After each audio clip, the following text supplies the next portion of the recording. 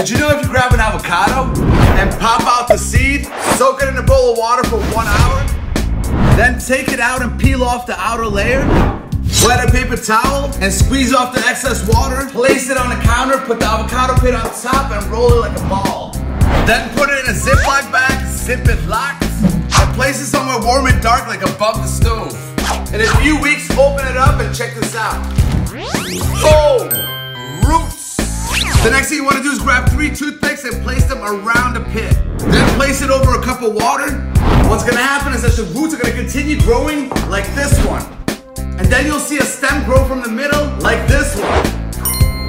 The stem is about six inches long, you gotta cut it back three inches. When the leaves grow back like this one, grab a pot, fill it halfway with soil, gently transfer the avocado plant, and then fill up the rest of the pot with soil. Look how beautiful and amazing this plant is.